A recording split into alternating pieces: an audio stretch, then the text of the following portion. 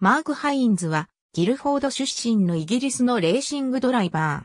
ー。1999年のイギリスフォーミュラ3選手権のチャンピオン。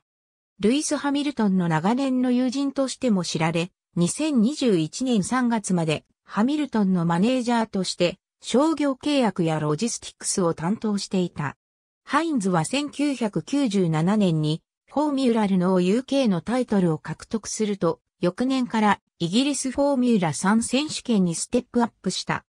参戦2年目となる1999年には、ルチアーノ・ブルティとジェンソン・バトンを、それぞれ2位と3位で破って、イギリス F3 のタイトルを獲得した。翌年に彼は、国際 F3 全選手権の3ラウンドに出場した。また、彼は、ブリティッシュ・アメリカン・レーシングと共に、フォーミュラ1マシンのテストも行っている。2014年には、トリプル A とレースエンジニアリングからイギリスツーリングカー選手権に参戦し、選手権を18位で終えた。彼は以前に所属したマノーモータースポーツのドライバーコーチとしても活躍した。